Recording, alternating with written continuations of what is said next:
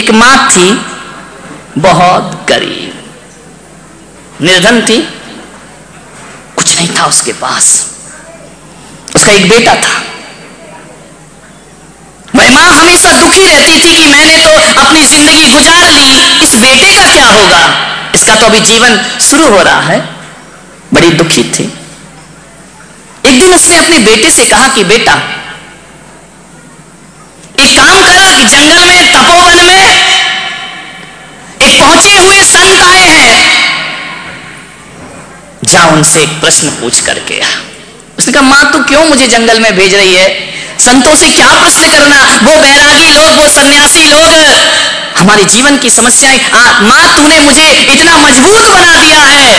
ऐसे संस्कार तूने मुझे दिए हैं कि मैं अमीरी के कभी ख्वाब नहीं देखा करता हूँ। माँ ने कहा बेटा मैं माँ हूँ, तू मेरे कहने से एक बार उस संत के पास चला जा।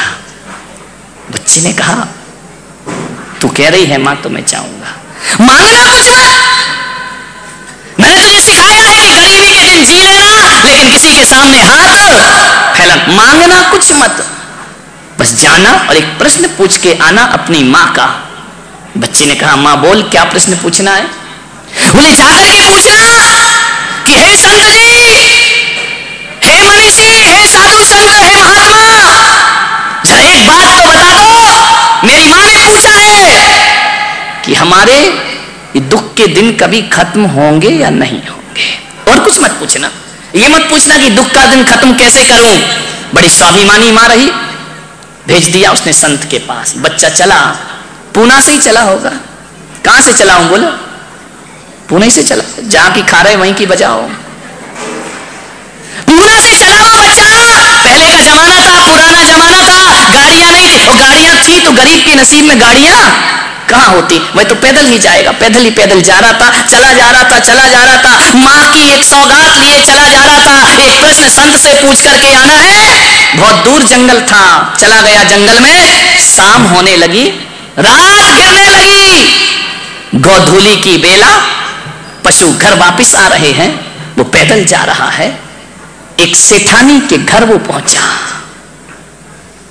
सेठानी से कहा कि सेठानी तुम्हारा इतना बड़ा मकान है, इतनी बड़ी हवेली है।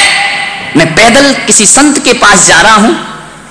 क्या आज की रात तुम्हारे घर के बरामदे में गुजार सकता हूँ? सेठानी बड़ी दयालु थी, धार्मिक प्रवृत्ति की थी। उसने कहा, बेटा, रात गुजारो। आओ, विश्राम करो। रहो यहाँ आराम से। बोले, रहना नहीं है। रात गुजारना है। सेठानी ने कहा, सो जाओ। उसका रात में विश्राम कराया। सुबह जाने लगा। तो सेठानी ने पूछा कि, बेटा, तुम ये तो बताओ, तुम जा कहाँ रहे हो? बोले, मैं एक संत के पास जा रहा हूँ और मेरी माँ ने एक प्रश्न पूछा है। उस प्रश्न का उत्तर लेने, बहुत बड़े संत हैं, पहुँचे हुए संत हैं, उसका उत्तर लेने में जा रहा हूँ। सेठानी ने कहा, संत के पास जा रहे? बोले हाँ। बोले, बेटा, तू माँ का प्रश्न लेके जा रहा है। एक प्रश्न मेरा भी पूछे आना अरे, उसने कहा, भाई, गरीब पूछे तो पूछे ये अमीर पूछ रही है प्रश्न। बोले एक प्रश्न मेरा भी पूछ लेना। लड़का बड़ा संस्कारी था। उसने कहा कि माँ, तेरे घर में मैंने रात बिताई है। जो प्रश्न कहेगी मैं पूछूँगा, ज़रूर पूछूँगा। प्रश्न ही तो पूछना है बोले बस पूछ के आ जाना। बोले, क्या प्रश्न है? बोले, बस जाके संत जी से पूछना, मेरी जो बेटी है, वो बोलती नहीं है, जन्म से नहीं बोलती है। इतना पूछना मैं माँ हूँ, मेरी चिंता है। ये बेटी बोलेगी या नहीं बोलेगी, इसका विवाह होगा या नहीं हो दो ही चिंता रहती है माँ बाप को। बोले, ठीक है सेठानी, मैं जाके ज़रूर पूछूँगा। आगे बढ़ा आगे बढ़ा, जैसे ही चलते गया, बारह एक बज गए, प्यास लगी बड़ी ज़ोर से, पानी की ज़रूरत थी उसे। क्या देखता है एक जंगल में एक पेड़ के नीचे कोई महात्मा बैठे हुए हैं? महात्मा से जाकर देखा कि महात्मा के कमंडल में जल भरा हुआ है। उसने महात्मा से कहा कि, संत जी, दो अंजलि पानी पिला दो। मुझे बहुत प्यास लगी है। संत हृदय था। बोले, लो बच्चे, पानी पियो। मैं तुम्हें प्यास बुझाता हूँ तुम्हारी। लेकिन एक बात तो बताओ बेटा। तुमको मैंने पहली बार देखा है। तुम जा कहाँ रहे हो? बोले, एक बहुत पहुँचे हुए महायोगी आए हैं। मेरी माँ ने भेजा है कि जाके उनसे एक प्रश्न पूछ के अरे, उसने कहा, एक काम कर बेटा। एक प्रश्न हाँ ये तो दुनिया में लाइन लगी है, क्या करोगे? प्रश्नों की हर जगह, जहाँ चले जाओ, वहीं कोई ना कोई प्रश्न। समस्या सब जगह है जीवन में, चाहे कहीं भी जाओ। उसने कहा बाबा जी तुमको क्या समस्या है? बोले, बस मेरा एक प्रश्न एक प्रश्न पूछ लेना कि 25 साल से साधना कर रहा हूँ, मुझे ज्ञान की प्राप्ति क्यों नहीं होती है? जाके पूछ लेना। उसने कहा, भाई, कितने गम है इस दुनिया में। ग्रस्त को गम हो तो हो, साधु संतों को भी दुख लगा हुआ। प्यास के बाद अब क्या लगेगी? हाँ, सुरेंद्र कुमार जी ऐसा लग रहा है तुम ही जा रहे थे। हाँ, बोले अब भूख लगेगी। आगे बढ़ा आगे बढ़ा बढ़ते गया दोपहर हो गई तीन बज गए। बड़ी जोरों से उसे भूख लगी। रास्ते में किसान था हल चला रहा था। उसकी पत्नी कपड़े में बाँध करके रोटी और भाजी लेकर के आती है, सब्ज़ी लेकर के आती है। अपने पति के लिए इसे भूख लगी थी, ये टकटकी लगाए देख रहा था। किसान ने कहा, क्यों रे, भूखा है क्या? बोले हाँ ले रोटी खा, ध्यान रखना। क्या जमाना था पहले का कि कोई भूखा होता था तो अपनी थाली का भोजन उसको दे दिया करते थे। संत एकनाथ जी महाराज भोजन करने के लिए बैठे का मुख का आचमन किया। ध्यान लगाकर बैठे, भोजन की थाली सामने रखी है। भोजन की थाली रख के आँख बंद करके प्रभु का ध्यान कर रहे आँख खोली तो क्या देखते हैं संत एकनाथ? कुत्ता रोटी लेकर के भाग गया। संत ने आँखें खोली, थाली खाली, रोटी गायब अरे, उनने कहा, कहाँ गई मेरी रोटी? मैं तो परमात्मा का ध्यान कर रहा था और वो कुत्ता रोटी लेकर के संत एक नाथ उठे, घी की कटोरी लेकर पीछे पीछे पीछे पीछे जा रहे हे। प्रभु, रुको। हे नारायण, रुको। ठहर जाओ। कुत्ता तेज भाग रहा है। संत पीछे पीछे कटोरी लेकर के भाग रहे अंत में कुत्ते को पकड़ लिया। रोटी मुँह में है। संत एक नाथ लोगों ने कहा, कैसा संत है? कुत्ते से रोटी छुड़ाने को भाग रहा है। पीछे पीछे गए। जाकर के हाथ जोड़ा उस कुत्ते के। हे नारायण!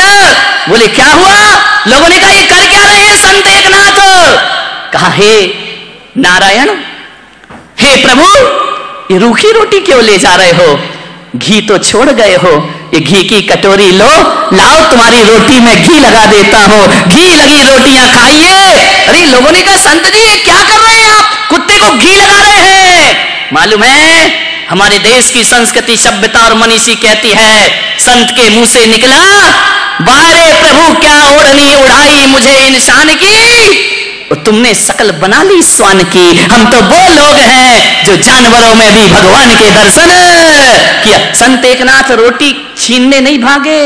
संत एकनाथ भागे कि घी लगी रोटी खाओ, तुम्हारा जीवन का आनंद आ जाएगा। तुमको ध्यान रखे, मान्य क्या लोग थे? आज तो ये देखते हैं कि आदमी बैठा है, घर ही नहीं जा रहा है जाए तो हम खाए।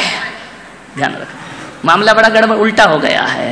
पहले के लोग आवाज़ लगाते थे आँगन में जाकर कि मेरी आवाज़ जहाँ जहाँ तक जा रही हो, जो भी भूखा इस मोहल्ले में हो, मेरे घर आए, भोजन ग्रहण करे। उसके बाद में भोजन ग्रहण कर। पहले के वो लोग हुआ करते थे।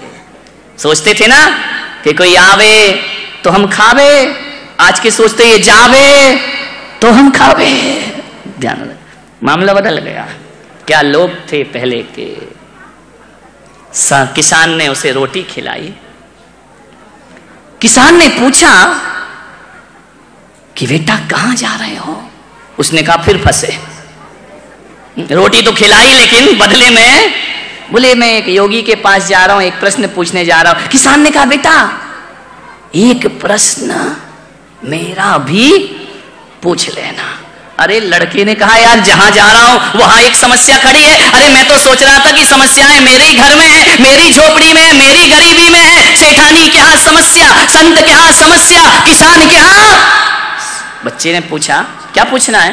बोले, ये पूछना कि मैं मेहनत बहुत करता हूँ, हल चलाता हूँ, बीज बोता हूँ, फ़सल बड़ी नहीं होती है?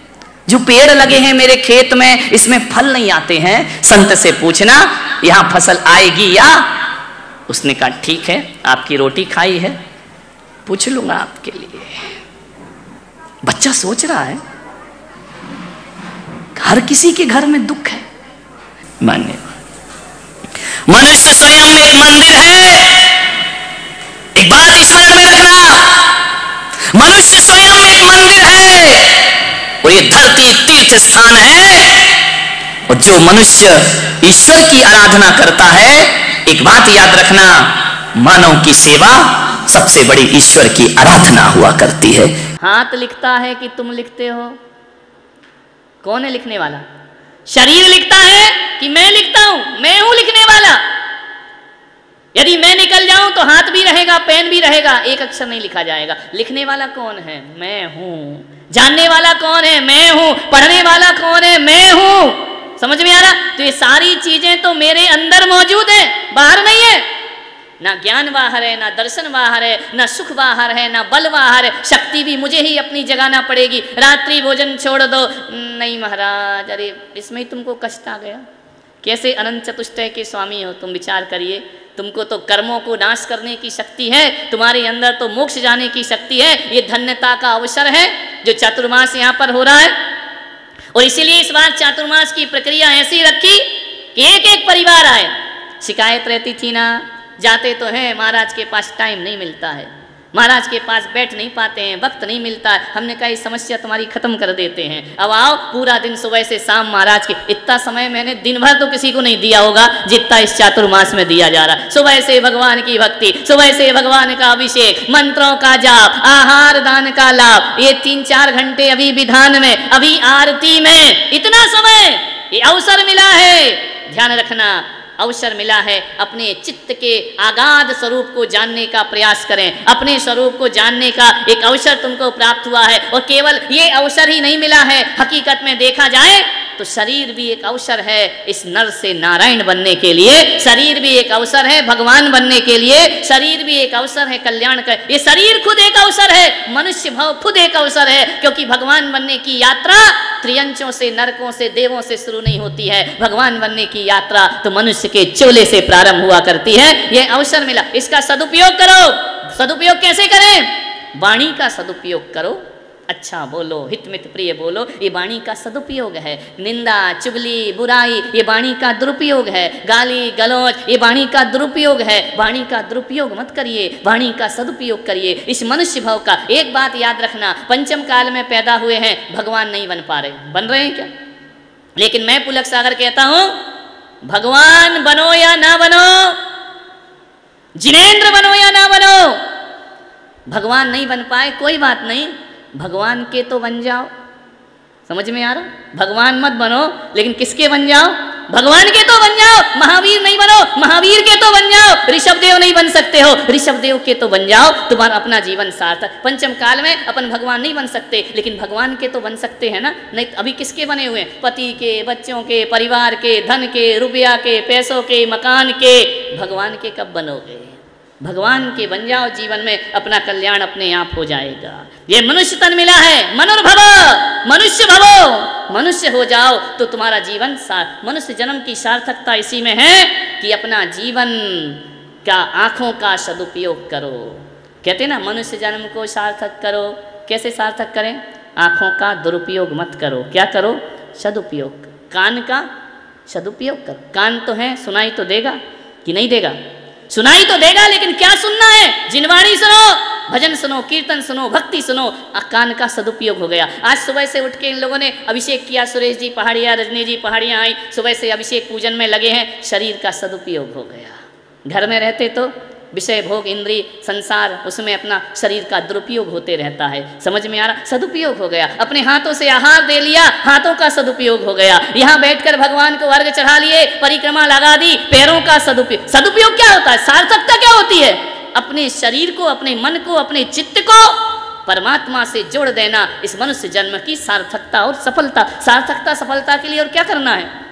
अपने मन में दुनिया भर के विचारों को छोड़कर परमात्मा की भक्ति के विचार लाओ, तुम्हारे मन का सदुपयोग हो गया।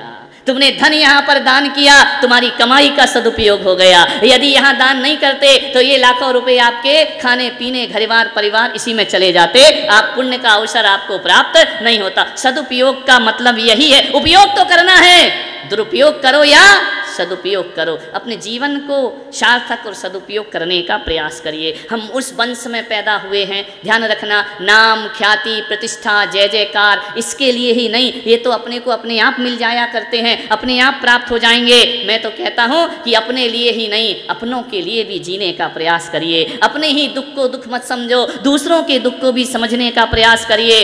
कहा नाग नागिन को जलते हुए लक्कड़ में देख लिया। पारसनाथ राजकुमार, वन क्रीड़ा को जा रहे हैं, भ्रमण कर रहे हैं, गंगा नदी के किनारे, काशी के घाट पर पहुँच रहे हैं हाथी पर सवारी कसी हुई है, जाकर देखते हैं, एक तपस्वी, एक तापसी, पंचांगनी तप कर रहा है। लक्कड़ में नाग नागे, पालकी रोक दो, सवारी रोक दो, हाथी को रोक दो।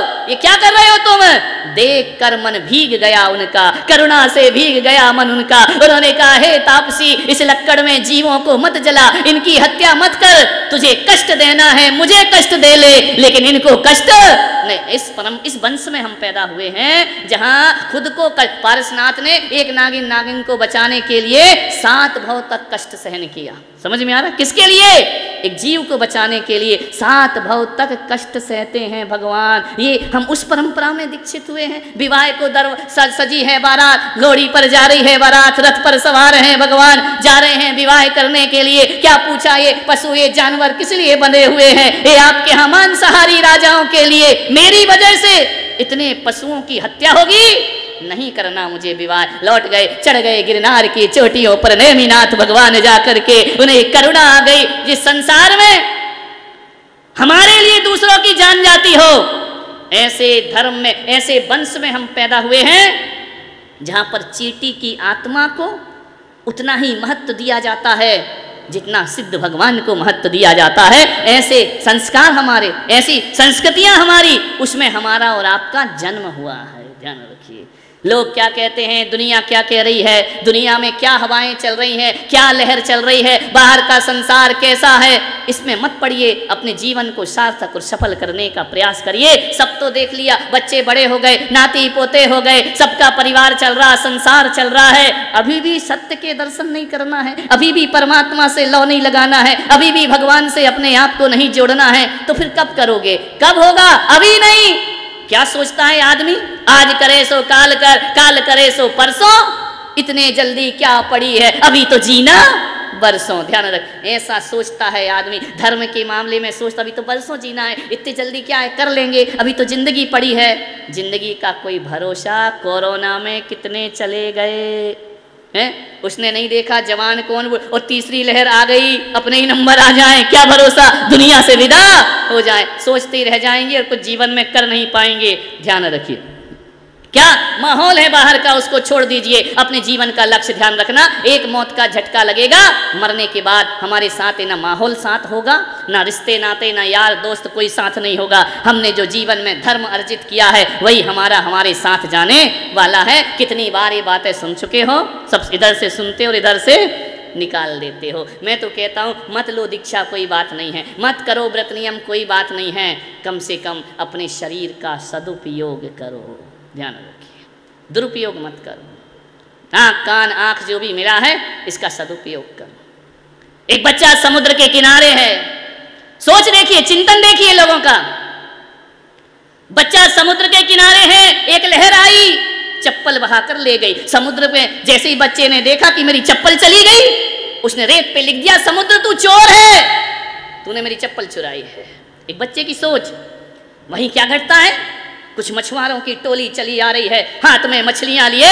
वह देखते हैं तो क्या कहते हैं, समुद्र, तू हमारा पालनहार है।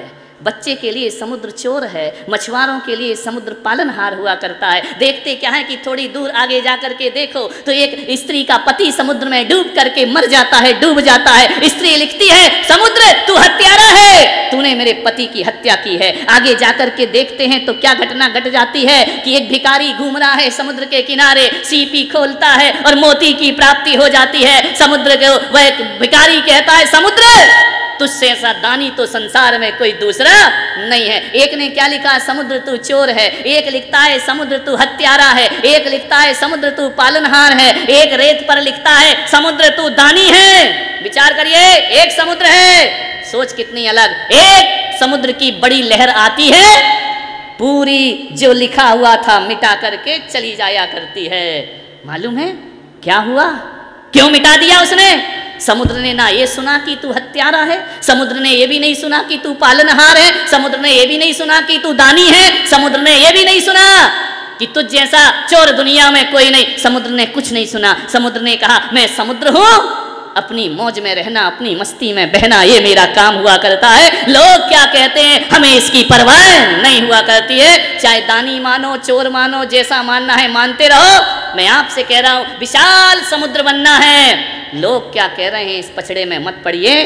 अपना रास्ता चलिए, अपने जीवन के लक्ष्य को प्राप्त करिए और जीवन की ऊंचाइयों को प्राप्त करिए। कुछ तो लोग कहेंगे, लोगों का काम है। समुद्र अपना क्रोध और समुद्र अपनी शांति दूसरों के निर्णय पर नहीं प्रेषित करता। वह कब क्रोध करना है, इसका हिसाब भी उसका अपना होता है और कब शांति से रहना है, यह हिसाब भी समुद्र का खुद का दूसरों के निर्णय से नहीं जीता है समुद्र। चोर कह दोगे तो समुद्र अपने आप को चोर नहीं माना करता है। दानी कह दो तो समुद्र अपने आप को दानी नहीं मानता है। हर हाल में जीना, मौज में रहना, मस्ती में जीना, ये समुद्र का काम हुआ करता है। कौन क्या कह रहे हैं? उससे हमारे जीवन में कोई फ़र्क नहीं पड़ेगा। अपने जीवन के निर्णय लोगों से मत मांगो। समुद्र कहता है, मेरे जीवन का निर्णय मैं खुद लूँगा। हमें भी अपने निर्णय खुद लेना चाहिए कि मेरा हित किसमें है और मेरा अहित किसमें है। दूसरे लोगों के हाथ में अपने जीवन का रिमोट दे दोगे ना, टीवी देखते हो ना, और एक रिमोट पकड़ा दिया जाए। दो चार लोग बैठे होंगे, एक भी चीज़ नहीं देख पाओगे। एक कहेगा, न्यूज़ लगा दो, पट से दबा देगा। एक कहेगा सीरियल लगा दो, वो दबा देगा. एक कहेगा पिक्चर देख लो, वो दबा देगा. हैं? देखते देखते एक घंटा बर्बाद हो गया। पूछा, देखा क्या? बोले, कुछ नहीं, चैनल ही बदलते रहे। देखा तो हमने कुछ नहीं, ना ये देखा, ना। वो देखा, दूसरों के हाथ में अपनी ज़िंदगी का रिमोट मत दीजिए। अपनी ज़िंदगी के निर्णय स्वयं लेने का प्रयास करिए। जीवन आपका सार्थक होगा। चातुर्मास का यह अवसर जीवन को सार्थक और सफल करने के लिए प्राप्त हुआ है। एक क्षण मिला है। एक दिन का चातुर्मास का सौभाग्य आपको मिला है। यहाँ से वह बटोर करके ले जाओ कि हे भगवान, जब हम आए थे आपके दर पे, हमने क्या लाए? हम उसका महत्व तो नहीं जानते हैं। हमने क्या दिया? हम उसका महत्व तो नहीं जानते हैं। लेकिन भगवान, जब हम घर से निकल करके आए, ज़िम्मेदारी और दायित्व के बोझ हमारे सिर पर थे, लेकिन अब हम जो यहाँ से जाएँगे, अपने हृदय में तेरी आस्था का सिंहासन लेकर के जाएँगे। तुम्हारी भक्ति के तीर से ले यही सबसे बड़ा प्रसाद है। यहाँ पर बैठकर, यहाँ से जब लौट करके जाओ किसी भी तीरथ से तो तीरथ जैसी पवित्रताएँ हमारे मन में होना चाहिए तो हमारा जीवन सार्थक सफल होगा।